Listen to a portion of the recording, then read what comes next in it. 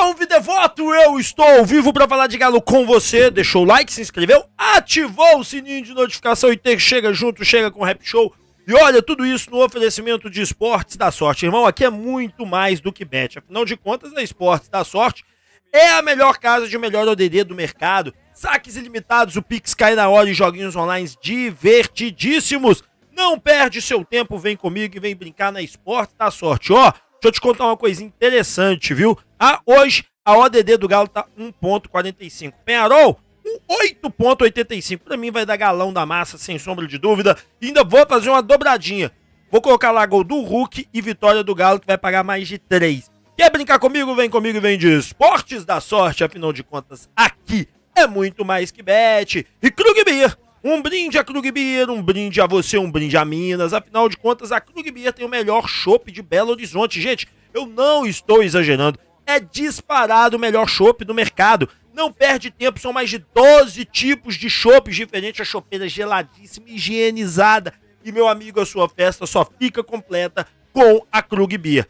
Faça o seu orçamento agora, não perca tempo, vem comigo e vem de Krug Beer, um brinde a você. Bom, senhoras e senhores, vamos falar de Galo. Afinal de contas, são muitos os temas e vamos começar com Milito, né? E os números do homem só melhoram, né? Gente, o Milito tá, tá treinando muito bem o Galo, todos os jogadores muito satisfeitos com o que tá acontecendo, e bem aqui os números dele, né? Sete jogos, quatro vitórias, Caraca, Cruzeiro, Rosário e Cruzeiro. Três empates, Cruzeiro, Corinthians e Criciúma. Lembrando que contra o Criciúma, um roubo, o Corinthians um roubo, né? 71,4% de aproveitamento, 11 gols, do, média de 2,75 por jogo, 5 gols sofridos. O homem já chegou sendo campeão mineiro, primeiro lugar do grupo do, da, da, grupo G da Libertadores e é o sétimo do Brasileirão. Bom, Milito começa um trabalho excepcional e hoje ele tem um grande confronto pela Libertadores. Galo versus Penharol. Eu acredito piamente no Galo, acho que o Atlético é muito mais time, tem muito mais condições e deve levar esse título. Mas, bom, é esperar para ver as cenas dos próximos capítulos, não é mesmo? E, bom, o Lemos falou sobre o Penharol, adversário de logo mais. Lembrando que hoje tem live no canal Alvinegro e nós vamos falar muito aí na hora do almoço do Galo. Primeiro vamos escutar o que, que ele falou sobre o Penharol. É um time muito forte, é um, um dos mais grandes da América. É, eu acho que vai ser um jogo muito pegado. É, seguramente eles vão vir para deixar a vida dentro do campo e, e, bom, a gente tem que estar preparado. Estamos preparando bem o jogo. Vemos uma, vimos uma sequência muito muito grande de jogos, mas temos todos os jogadores preparados para afrontar esse esse duelo. Bom, o Maurício Lemos morou numa região do Uruguai que fala muito português, tá, gente? Então ele tem um português bastante apurado. Olha, o Penarol não é um time bobo. O Penarol é líder do campeonato uruguaio, veio de vitória e tá bem. Perdeu um jogo que foi lá na, na casa do Rosário, foi um jogo completamente louco. É, jogado de pedra dentro do gramado, cacete a quatro. Eu acho que a decisão contra o Rosário, inclusive, sai antes do jogo do Atlético, vai ter muito tempo. E nós vamos ter esse jogo agora, e os próximos jogos é só em maio mais de uma semana lá na frente. Quer ver? Ó, vou mostrar aqui só para vocês. Então acho que até lá nós já vamos ter uma resposta, né? É, a isso, quer ver? Ó, só mostrando aqui. Opa, tem que ter classificação, desculpa. Tem que entrar aqui, ó.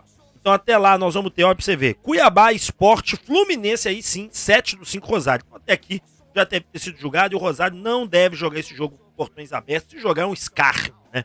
É um verdadeiro escárnio, é um absurdo. Aí só prova que a Comembol é um lixo é, né, porque aí não tem nem conversa. O termo é esse. Eu provaria que a Comembol é um lixo, porque tacar pedra, pedra, não é copinho de plástico, gente, é pedra dentro do gramado. Aí é demais, ainda acerta o jogador. Bom, e o Lemos também falou sobre convo... Ah, não, enfim. Então, Peará é um adversário dificílimo, acho que é um jogo importantíssimo. Vencer é colocar o Galo em cima. Gente, vocês têm ideia de que se o Caraca surpreender ou vencer ou empatar contra o Rosário, o Rosário vai ter, segundo colocado, teria no máximo, exemplo, um empate, quatro pontos e o Galo nove.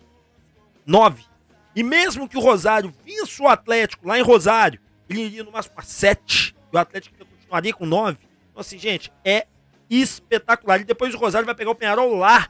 Então, assim, gente, é uma liderança do grupo muito, muito, muito lá em cima. Bom, vamos falar sobre Lemos e sonhos sobre convocação. Maurício Lemos deu aí contou um pouquinho para a gente sobre o sonho de ser convocado, jogar a Copa América. Olha só. É, sim, são muitas. Ele tem muita experiência, jogou em, em grandes clubes, é, teve na seleção, como você falou.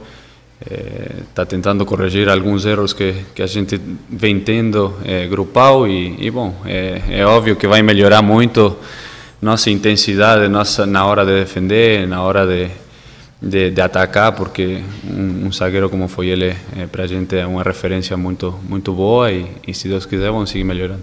Foi mal, gente. Eu coloquei o vídeo da adaptação do Maurício Lemos e não o vídeo da seleção. Vou até trocar aqui, né?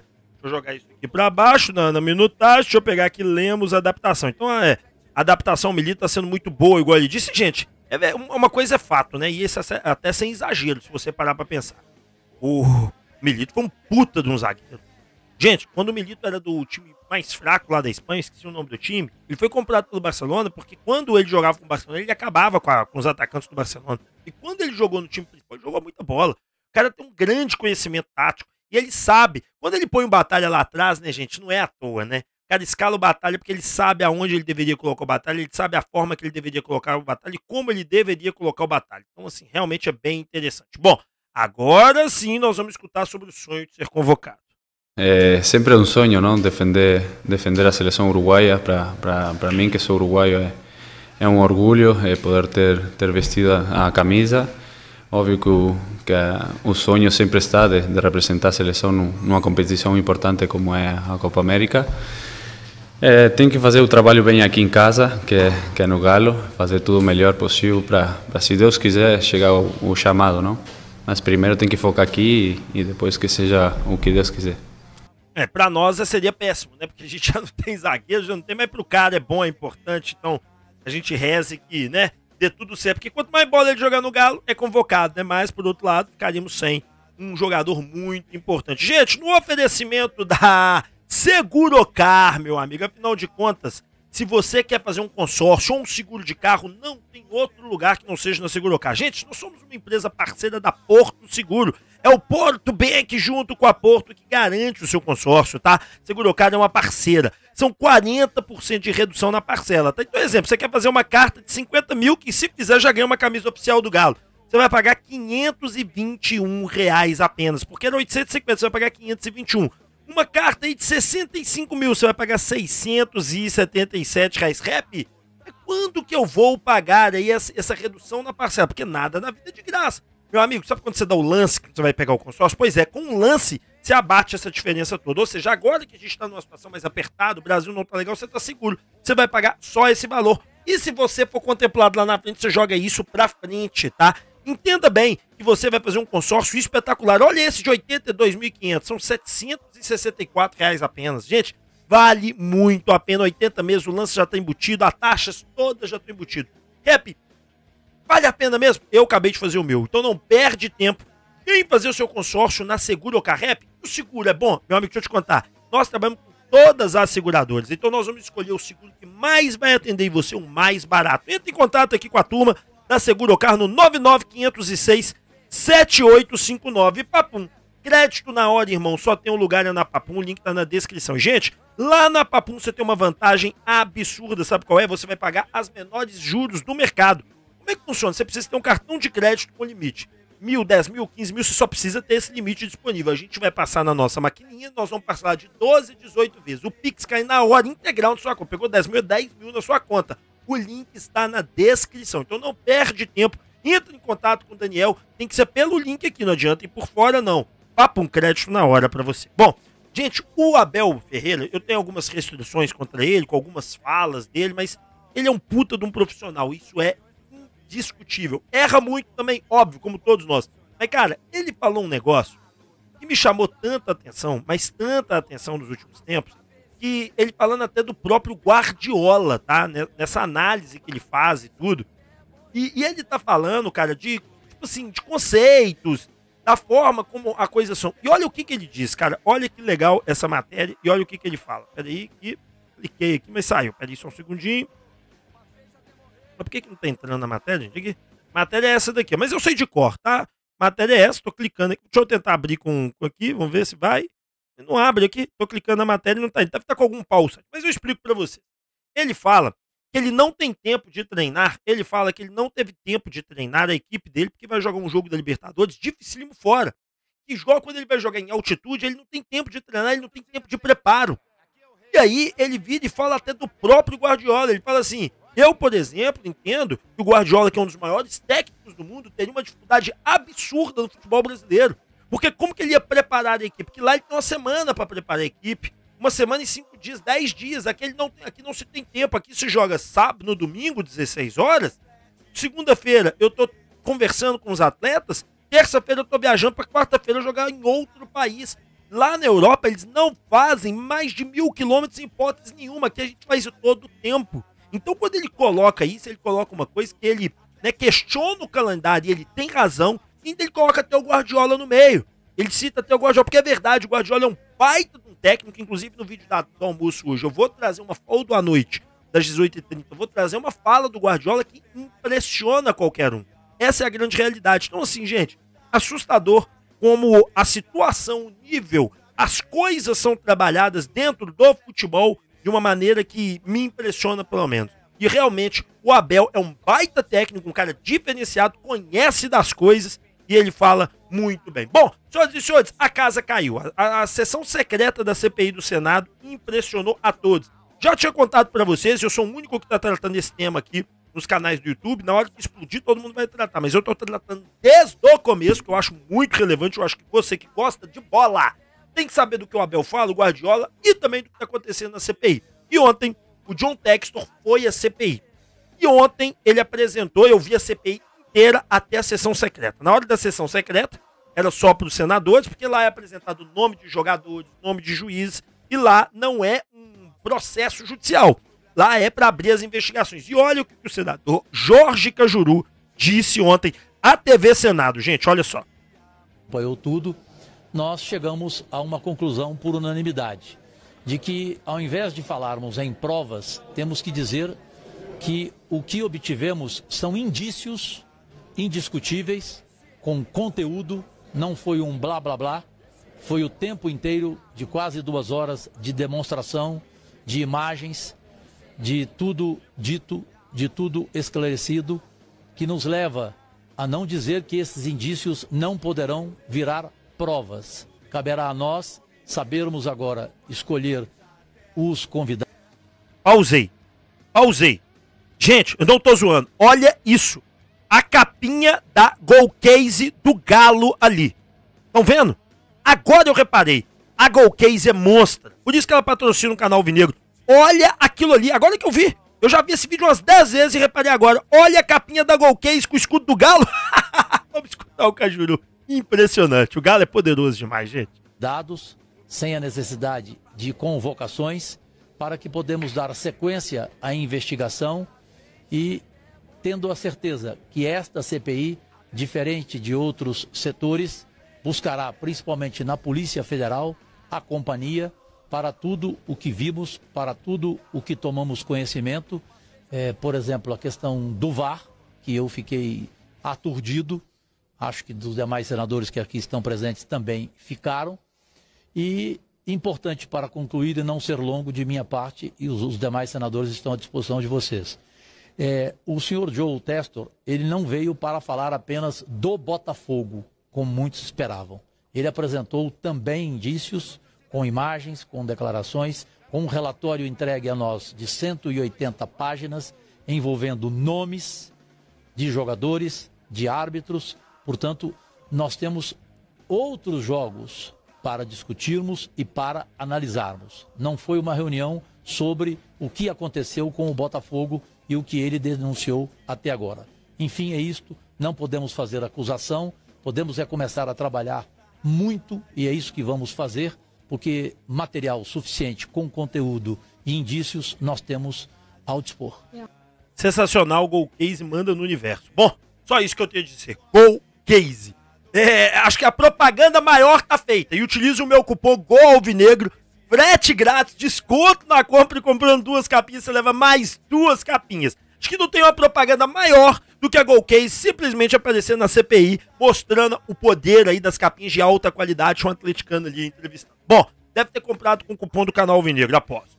É, então, gente, casinha da CBF tá caindo. Porque os caras, para levarem isso dessa maneira, é porque tem muita prova. Bom, comentarista pede calma para não estragar o velório. No oferecimento dela, do Instituto Céspedes, meu amigo. Afinal de contas, lá no Instituto Céspedes você vai deixar a calvície de lado e vai poder ter suas madeixas de volta. Amanhã é o meu grande dia. Irei fazer a operação. Desse lado nada, deste lado nada. Tá vendo? Muito careca. Meu cabelo vinha até aqui, ó. Até aqui. E vai voltar aqui. Nós vamos fazer na faixa, vai ficar bonito. Vou voltar a ter Porque, cara, me incomoda. Calvície me incomoda e garanto que incomoda você. Já mostrei foto do Rodrigo Caetano antes e depois você já viu aqui. Vou trazer muito do pessoal que faz o tratamento lá agora, nos próximos vídeos. E você vai assustar com a diferença. Realmente a calvície tem solução. Entre em contato no 99054650 e marque já a sua consulta. Rep, quanto que custa, irmão? Cada cabeça é uma sentença. Por quê? Porque tem gente que tem mais, tem gente que tem menos, né? Então cada um é de um jeito. Mas uma coisa eu te garanto: você vai ter desconto porque veio do canal Alvinegro. Marque a sua consulta lá no Instituto Céspedes. Bom, vamos falar sobre o comentarista. E olha, gente, isso aqui foi legal demais. Já fiz um vídeo no canal, mas agora eu tenho que pôr para vocês. Vejam este vídeo, e é muito interessante. Eu vou continuar criticando. Eu vou continuar baixando, apurando essa diretoria nesse time. Perder faz parte do jogo, mas você perde jogando, tendo gana, tendo raça, tendo vontade. Isso o Cruzeiro não está tendo. A começar pela incompetência e passividade durante todo o primeiro tempo do Fernando Seabra. No Mineiro, igualou. Agora quero ver fazer três gols no segundo tempo. Com essa passividade do treinador. É incompetência pura, desde a diretoria. E esses caras que ainda ficam, às vezes, me cornetando, que eu sou corneteiro, que eu sou não sei o que, corneteiros são vocês vocês que aceitam essa pobreza de futebol, que estão satisfeitos com essa desgraça que está sendo. Que isso? Calma, calma. Agora aqui, velho. Ele até fala para não estragar o velório, olha só. Semente especial, viu, professor, ao Atlético. Quero fazer um agradecimento especial ao time do Atlético por ter tirado o pé do acelerador. Obrigado, Atlético por vocês terem tirado o pé do acelerador. Porque se vocês resolvessem manter o pique do primeiro tempo, vocês teriam a chance ou perderam uma chance de aplicar uma goleada histórica, lavar a alma. E vocês tiraram o pé do acelerador. E eu estou feliz com isso, porque a vergonha poderia ter sido maior. Poderia ter sido um resultado trágico em termos de números, traduzido em números. Então, obrigado, Atlético. É, é a verdade, né? A gente fez para não estragar o velório, afinal de contas, vocês vão cair para a Série B de novo e nós estamos tranquilos aqui na Série A e não vamos aí jogar, e vamos jogar hoje com o Penharol e a gente não podia correr o risco de ter uma lesão, alguma coisa assim. Bom, e o último tema do nosso vídeo, que é espetacular, informação exclusiva do canal Vinegro, tá? Milito sabia das condições financeiras do Atlético e sabia que o Atlético não poderia trazer nenhum grande reforço mas ele já fez um mapeamento do elenco, ele entende que o elenco é muito bom, mas ele solicitou contratações sim. É um centroavante e um zagueiro. E ele quer estes nomes, ele já está contando com a vinda do Bernard, ele quer um centroavante um zagueiro para o meio do ano. E os nomes já estão passados, ele já deu algumas ideias, o Siga já está em avaliação. E o nosso Milito, sim, quer reforços. E ele entende muito bem. E eu tenho uma novidade também para contar no vídeo do almoço, mas vou esperar o almoço, né, para a gente ter mais conteúdo. E ele também entende que é necessário muito, muito, muito certamente mais um volante. E eu me assustei com isso porque, no meu entendimento, tanto Batalha, Otávio e Alan Franco não estão mal, mas eu consegui compreender que a pedida dele é porque ele gosta do Batalha jogando de zagueiro. Não é o primeiro jogo, já é o segundo jogo, e ele explica que gosta do, Batalha por ali. E ele pode começar a utilizar o Batalha como zagueiro, e aí a necessidade de um outro volante. Bom, deixou o like, se inscreveu, ativou o sininho de notificação, te encontro meio-dia e 15 com a live do canal Alvinegro e do canal do Rap Show. Tamo junto, muito obrigado, fiquem com Deus, valeu, tchau e fui! Obrigado, turma.